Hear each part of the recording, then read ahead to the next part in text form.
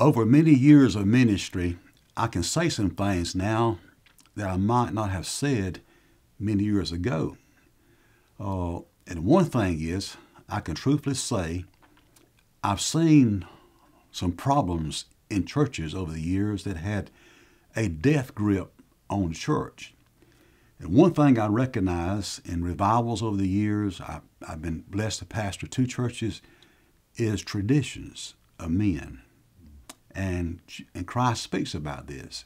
Now, there are good traditions that we need to hand down to our children, our grandchildren, that are biblical. But there are a lot of traditions of men that have just killed the average church. I read today in, in Mark, the seventh chapter, and it's talking about the Pharisees and scribes were criticizing the disciples, how they washed their hands, how they washed uh, pots and cups, and all of this. I, I won't deal with that, but I want to read verse 9 and what Jesus says about what they were doing. He said, Full well you reject the commandment of God that you may keep your own tradition. You reject the Word of God commandment of God that you may keep your own tradition. Over the years uh, in revivals, on the first night of revival, I've heard this too often being said, maybe to let me hear what was said before the service started. I'd hear things like this well, we have never done it that way. And people say that. We've never done it that way. Uh, there's been churches that, that have split over where the piano sits or where the pulpit sits. And they've just split, divided over things like that. Uh, traditions of men, you know.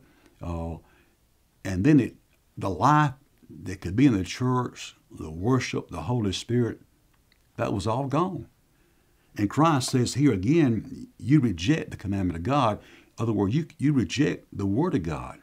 You know, even bylaws that churches work up among ourselves.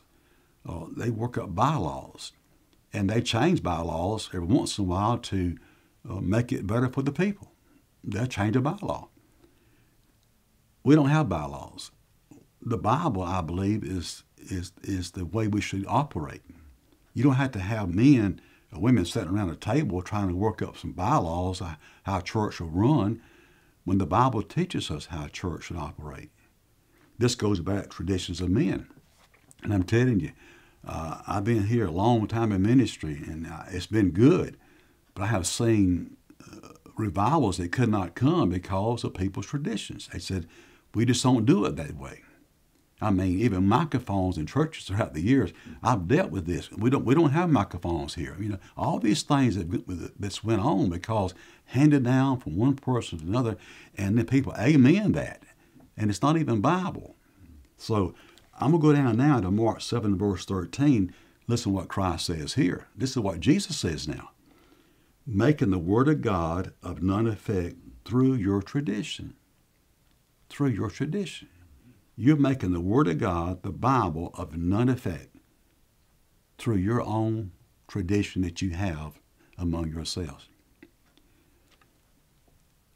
I am pretty well I guess uh, I don't change too much. My wife, I, I, just don't change. I have to really uh, think about uh, making a change in my own life. I mean, I went many years in my life, for example, I didn't wear uh, pleated pleated pants. Uh, I just wouldn't wear them. I just wouldn't. I wouldn't even put on a pair. I went years. My wife said, "Won't you try on a pair of pleated pants?" I said, "No, I'm gonna wear this other kind." And one day I tried on a pair of pleated pants and I made they feel good. And I bought all pleated pants. I just don't change quickly. And I maybe he's just kind of an old fashioned person.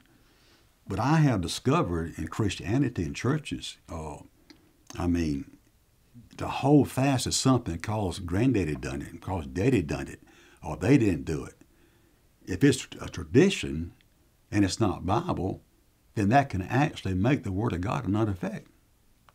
When something comes up in the church that we've never tried before, if it's Bible, it's time to try it. It's time to get with it, no matter what grandmother said. in many churches, I mean, I've seen this, and it's a sad thing to see. Even today, it's still going on. You realize today, and we have churches, even small or large churches, mostly small churches, and it's known by the community who runs that church. And many times it's a family or a couple of families run that church. And it's, it's, it's known that certain ones run that church. And the, and the pastor, under shepherd, he has no he has no opportunity to lead the church unless he satisfies the families. And once he don't satisfy the families, then uh, he, he's gone. Tradition handed down throughout the years that's made the Word of God a non effect. Now, all a lot of this new stuff is not working because it's not Bible. But a lot of the new things that could work, that's Bible, would work. Just go into the Bible. And let's just do it the way God said to do it. So today you may be in a church or you may be one yourself that just you just you just traditional. You you won't you won't consider anything different than what you've been doing the last fifty years. But the Bible says it's okay to do it a certain way, then it's Bible. And we should do it that way. And not allow ourselves to die from tradition or the church that we attend to die from tradition. You know, uh, God has blessed us in this church in the last few years. We have seen things begin to be different. I'm telling you, for a long time, even in Clark's Chapel Baptist Church, we fought traditions of people that we all had in our minds. It's the way it's supposed to be, and we didn't get into the Word of God, and that's the problem.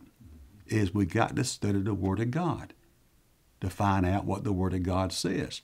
And sometimes what the Bible says, because we've never done it, it seems kind of awkward.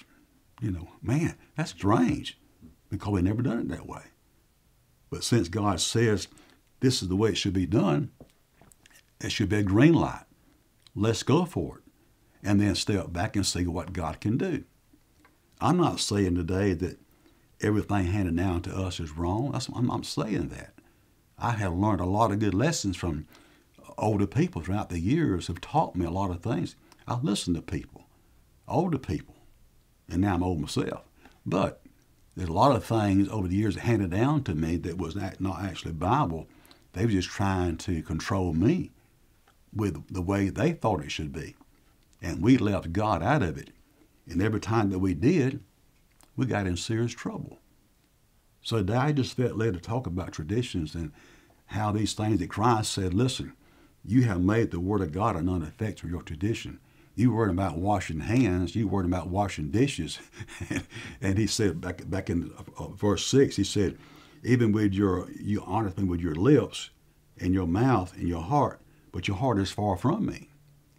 You have your lip service and, and your words, but your heart is far from me. For in vain you worship me. Listen what he says teaching for doctrines the commandments of men.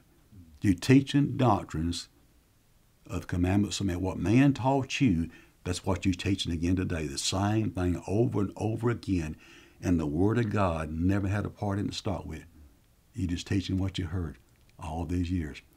Amen. And the same things year after year after year in some churches that wasn't true to start with. Over and over again. So we're in the last days. And it's time for every church lay aside man-made bylaws, man-made rules, and man-made commandments. Get in the Word of God. Time is running out. Let's close this thing out as a church, the one church of God. Let's close it out, doing it the way God says to do it. And don't worry about Tom, Dick, and Harry. Do it the way God says to do it. You'll find yourself in a place of life, power, and liberty. Where the Spirit of the Lord is, there's liberty. Let's do it God's way in these last days. Until next time, from Clark Chapel Baptist Church, we trust with God's help that you would have wonderful days.